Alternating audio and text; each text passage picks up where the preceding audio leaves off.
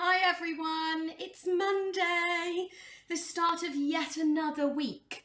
But it does look as if some changes are in sight, doesn't it? So we've got lots to hold on to, which is really hopeful. So I'm just going to do a super quick cooking video today. Now I know year sixes, I think you've got a pirate theme going on this week. So we are going to make some pirate pot pies. Um, there's quite a few parts to this, which is why it's going to be a little bit of a disjointed video, but hopefully it makes sense. Now, the first part, as always, make sure you've asked your grown-ups permission. We always need to make sure that they are there to help and supervise us uh, when we need it. Please make sure that your oven is already heated up, so it needs to be about 180 degrees gas mark 4 as normal. And make sure you've washed your hands thoroughly. And I'm going to do my usual, which is to anti-bac my hands it popped out the end then. Right. Let's give these a good thorough wipe through. Have you had a fabulous weekend? What have you all been up to? Hopefully there's been lots of arts and crafts going on. I know somebody's going to try and make a fish this weekend because I spoke to them on Friday and they were going to try and make a swimming fish, which will be fabulous. So to make this a little bit quicker for you to watch, I've already weighed out the ingredients for the short crust pastry. So let me turn this down and you can have a little look at what's going on. Now these ingredients this side are what we're going to put in the pie later on, but we're going to start off with the ingredients for the short crust. So you need 225 grams of plain flour, you need 100 grams of butter and you need a pinch of salt. So I've already weighed that out and that is inside my bowl. And all I'm going to do now is mix it up so it makes a dough. Now we remember when we made this before that sometimes you might need a little bit of water. If it's not quite moist enough, you might need a little bit of water just to form the final parts of the dough. So we'll see what happens with that. Now I've had quite a busy weekend. I've had lots of my schoolwork to do that I was telling you about. So not my work for school that we all go to, but my work for university. So I've been getting on with that. Have you been getting on with any of your schoolwork or do you give yourselves the weekends off? I know I spoke to somebody today who is working very hard on a pirate word search, I believe which sounds thoroughly exciting. I was trying to think what words would I associate with pirate, and I was thinking telescope, eye patch, parrot, um, hook, maybe a hook. So all of those things are things that we would associate with a pirate. Maybe a big ship walking the plank. Anyone seen the film Hook? That's quite a good film to think about pirates, isn't it? Or Pirates of the Caribbean, that's another one. So all I'm doing whilst I'm chatting is mixing the butter into the flour. And this can be quite a tedious, quite an annoying process and one that makes all your joints ache, but it's worth it in the end. Cold butter always works a little bit better than warm butter. And what we're looking for is that we're going to change the colour of the flour so it becomes more golden. And we're looking for it to be breadcrumb type material. Material. Consistency. Don't know why I'm saying material. Because I'm thinking of what I'm going to make for arts and crafts tomorrow. And quite sticky when you squeeze it. Don't forget to go right down to the bottom of the bowl and pick up the flour that sometimes rests at the bottom. Right, so we are almost there. Now you can see it's still quite breadcrumby. If I turn the bowl, I've just found some bits of butter that I want to mix in. Woo! Just poured it all over the side of the table. That's not very clever, is it, Mish? Just scoop that back up and pop that back in. So if you have a look, can you see it's kind of breadcrumby, but it's still, if you that uh, squeeze it in your hands, still goes into a bit of a ball. So this tells me I need to add one to two tablespoons of water. So I'm just going to go and do that from the tap. Needs to be cold water so it doesn't melt the butter. So let's add one to two tablespoons of cold water and we're going to mix that in and that should give us the dough that we're looking for. Now when we've got the dough, the dough needs to be part baked for this so we need to pop it in the oven just for about 10 minutes so that it can get a little bit cooked on the bottom and then when we put the ingredients in on top it won't go all soggy. Mary Berry is very famous for calling it the soggy bottom so if you've ever watched Great British Bake Off you'll see they never want a soggy bottom on their pies or anything that's made out of pastry because it doesn't go crisp. Now, this recipe you can change to make a sweet filling if you like. I'm doing a savoury one today because it's nearly my tea time, so I'm going to eat these for my tea. So I'm doing a savoury one, but you can change it and make it into a sweet one by using chocolate. If you look up chocolate torte, you can add in um, the sweet recipe from the chocolate torte filling and add that into the middle of your pies. So what we've got now is our dough. I'm just going to make sure that it's completely combined.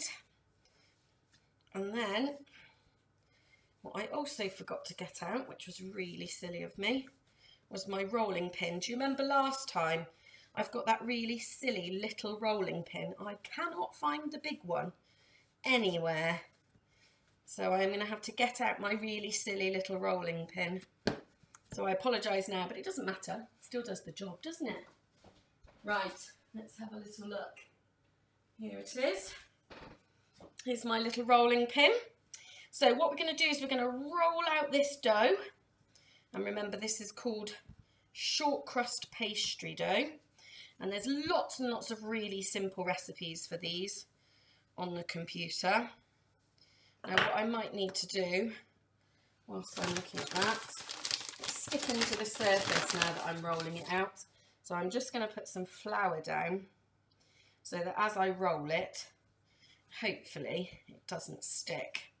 So we need to make sure that it's rolled, not too fat and not too thin because we're going to put it into our little pastry cases in a minute.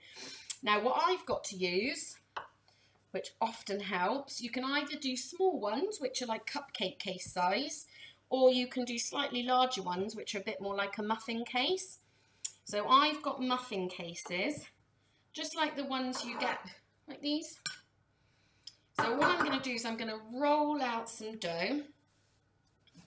And then when it's thin enough, we don't want it too thick that it's going to be stodgy, like gooey when we eat it. And we don't want it too thin that once we've put it in, it breaks and all the filling comes out. So it's quite a tricky match to get. So I'm only going to do two of them because otherwise I think you're all going to be bored out of your brains as you watch me. Now this is what happened last time, wasn't it? Do you remember? It was a little bit crumbly, but the beauty is that we can stick all these little bits back together before we cut it out. So we are nearly there. We've rolled out our pastry. And the next thing we're going to do is cut some circles. Now I found a glass that is roughly the same size as the top of the um, dish. So I know that my circle that's got to go in the dish has got to be bigger than this. So I'm going to use this as a bit of a guide. So I know the circle I put in has got to be bigger than that circle because otherwise it won't fill the sizes at the sides, sorry, of my muffin tray. So I'm going to do one and then I'll stop the video before I do the others or it is literally going to bore you to tears.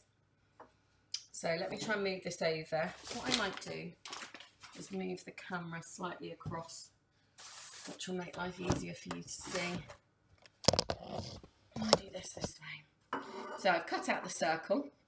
So what I'm going to do now, I've pre-greased it. So inside there, I am going to make this a little bit thinner because I think the pastry's a bit thick. Sorry, guys. We want it to work, don't we? So I have pre-greased the middle bit, so I've put some oil in, and all you do is very gently, this is where you have to have your very gentle hands, you're just going to put the pastry in like that. It doesn't matter if it goes additional over the sides, that's fine. Okay, and we're just going to mould it in, so press it in around the sides of your muffin tin. Now this is why you don't want it too thick, because obviously some bits of this are going to double over. And once you've got it in and all pressed round the sides nicely, doo -doo -doo, I feel like I need to sing to you so you don't get bored. There we go. So we don't want any cracks and we don't want it to be too thick around the sides. Once you've done that, you can just cut off the tops around the edge of the circle as you go. There we are. Okay, so what I'm going to do is I'm going to do the other ones without you having to be bored to tears watching it. And then I will come back to you I'm going to pop these in the oven. They're going in for about 10 minutes just to cook basically before we put the filling in. So I will put them in the oven for about 10 minutes and then I will come back to you so that we can make the filling, fill them out and move on with the next bit. Right, I will see you momentously. Hang on, hang on. Hello, welcome back. So I've put four um, little bits of pastry into those pots. So this pastry is going to make four of those little pies. Now what I've done with the spare pastry is I've put that all back together and I've rolled that out again. And what I'm going to do now, using a glass very, very gently, you've probably got pastry cutters at home.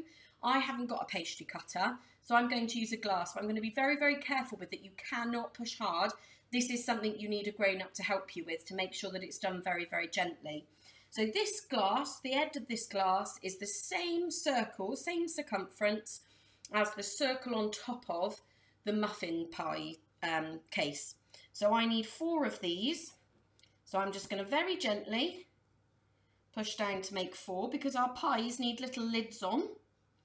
So very carefully I'm going to push down so that I've got four of those.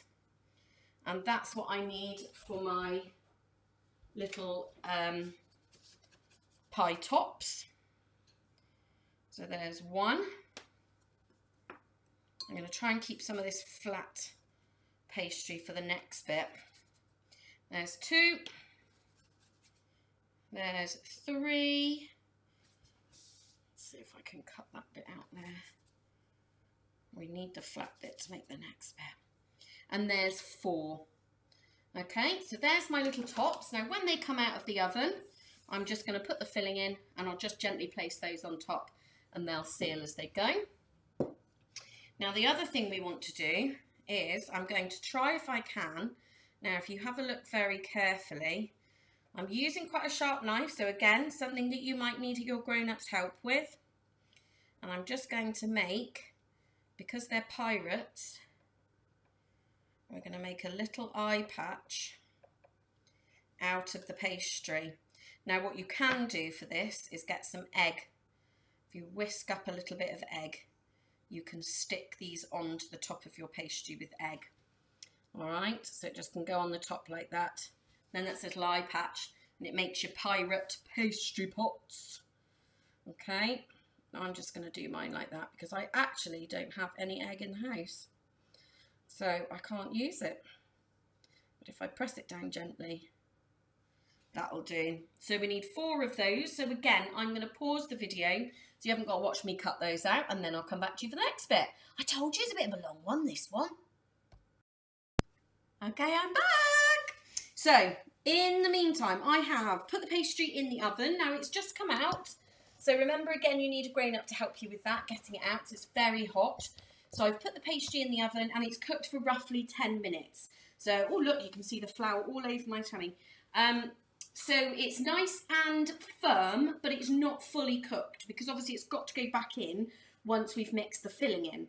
Now the other thing I've done is I have cooked some potatoes and some carrots. So I've just put them into tiny little cubes like this. I've cooked them for about 10 minutes, uh, just boiled them, and I'm going to add them in. Now, this was to show you that I'd cut up some carrot. I've also cut up some onion, so that's in there as well. I've got some tomato that I'm going to add in. So that's going to go in the bowl. Oops, let's not squash my little pastry things. I'm going to add a little bit of pepper because sometimes you need it to have just that little bit of seasoning. I'm going to add the very smallest amount of salt, just a little pinch, because corned beef is actually quite salty. Now, obviously, there's lots of other options you can have to put into the middle of this, but I've chosen corned beef today to make it slightly different. And corned beef's quite an easy thing to use, easy thing to get hold of, and it lasts quite a while in your cupboard. And the other thing I'm going to do is just add in about half a tablespoon of tomato puree, just to make sure that we've got some little bit of moisture just to mix it all together with. And then the last thing I'm going to do, now this is another thing you're going to need your grown-ups help with. Corned beef tins are notoriously difficult for getting the corned beef out of. Whoever devised them or designed them in this way, I'm not really sure of. So I couldn't actually open it with the key like you normally would, so I've had to use a tin opener. And then what you're supposed to do is give it a little bit of a jiggle gently around the edges. Remembering this bit around the top is going to be very sharp, that's why you need a grown up to help you. And in theory, it should just pop out like that. So what we're going to do with the corned beef, now corned beef can be quite slimy to look at. I don't always like using corned beef, but it doesn't matter. We overcome these hurdles, don't we? Now what I'm going to do is I'm going to cut it into thin little cubes looks and smells remarkably like dog food. I guarantee you it's not. And it is del absolutely delicious when it's cooked up like this. So I'm going to cut it all up into little thin cubes. And I'm going to mix it into our mixture. Now we've definitely got more mixture in here that is going to fit into my um, pastry cases. And that's absolutely fine because what I'm going to do is put it in the fridge and I'm going to save it for tomorrow and then I can make some pasties or I could do like a corned beef hash where you just fry up the remains. Now these are really good things that I used to have quite a lot of when I was a child. It's the sorts of things my mum would have cooked for me. So we're going to mix all of this in together. Now what I do like to try to do, if I can, is make the corned beef less cube-like because then it kind of incorporates the rest of the ingredients better. It's a bit more pushed in, more mushed. Is that a good word to use? Mushed. But what I don't want to do is mush the um, potatoes or the carrots either because that's then going to be a bit of a gooey mixture that we're not particularly looking for. So I'm just going to press down the corned beef. Now we don't often do recipes like this, do we, with all of these component parts. Component parts being all the little bits that you need to do before it actually works. So it's quite nice to do something a bit more challenging. And hopefully some of you are trying this at home. And it's not just a way of keeping me occupied during this lockdown. So what we want to make sure we do is mix all of the ingredients together so that when you then put them into your um, pastry cases, they're all combined and you haven't just got a pastry case with carrots or a pastry case with tomatoes because that would be quite bland, wouldn't it?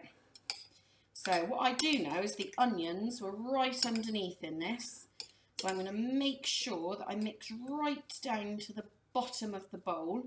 The other thing is, because I only put a little bit of tomato puree in, I want to make sure that that's got all the way through the mixture and it's not just going to be in one person's um, pie because that would be, again, a very dull, bland pie to be eating. So it looks to me as if we're there. Now, remembering that these cases have just come out the oven, so hopefully they're not hot now because I've allowed them some time to cool while I've been mixing all this together. There we are. So now what we're going to do, let me get rid of these bits, is we're just going to fill, yep, all cooled down.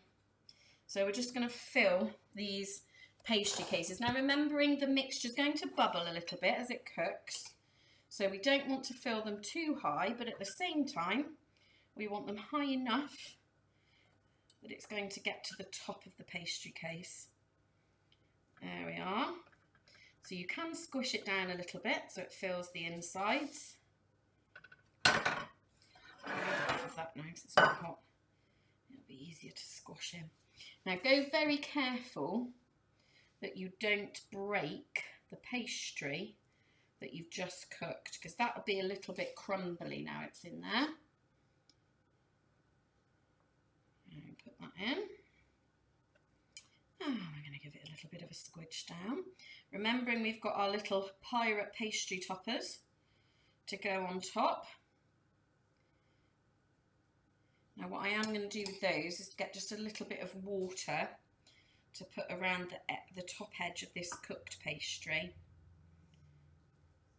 to hold the little pastry tops on. Otherwise you might find that they don't stick. And then when you try to get them out, it won't work. Okay, that bit of carrot needs to squish down in. There we go. Okay, so they're nice and full. Now what you can see is around, I've left the pastry around the edge. If I tip this up, you see I've left the pastry around the edge.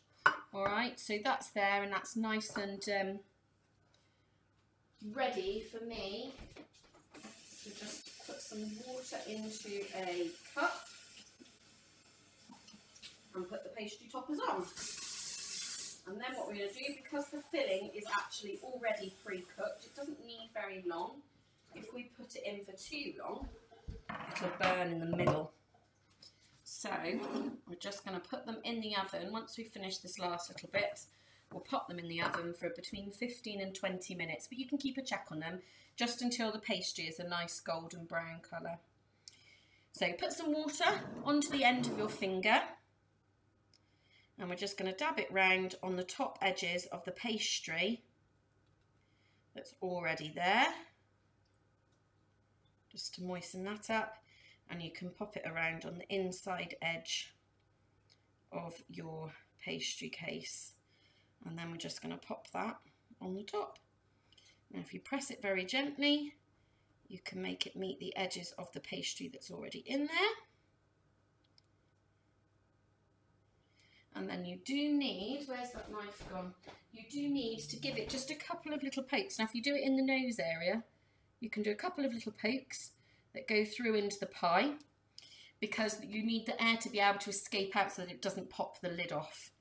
Otherwise you're going to have a little lid that pops off the top of the pastry.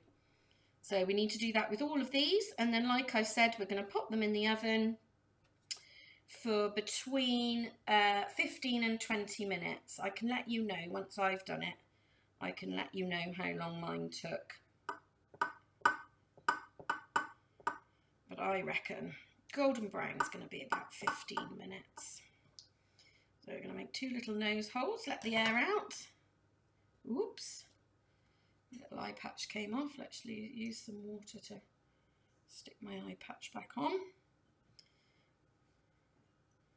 So on goes the water. A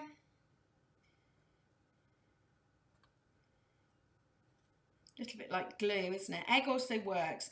Egg probably works better, to be fair. And you can then put a little bit of egg on the top of each one of these. And it just helps to crisp the pastry up a little bit. But like I said, I haven't got any egg today. So we're going without. And you'll see that it'll work anyway. let's pop that lid on make the little holes. And then we're on to the final one. Now I did actually have quite a bit of pastry left over. So if I'd rolled it out properly I probably could have made at least one more pie. Maybe two. So that's a good thing to remember. And it's quite a cheap and easy recipe to make So you can make quite a few good little snacks for you to have when you get hungry after you've done all your schoolwork in the day. There we go. Let's make the two little holes for the nose and we are done. So there are our little pirate pastry pot pies. I'm going to pop them in the oven like I said and I will come back to you in about 15-20 minutes when they're cooked and ready to go. Ta-da! It's beeping. I don't quite know what they look like yet because I haven't had a look. The dog isn't too happy so I'm sorry, he's barking along. He doesn't like the beeper going off. So I'm going to go and get them. Let's have a look at what they, they have finally turned out like. I mean, it smells good.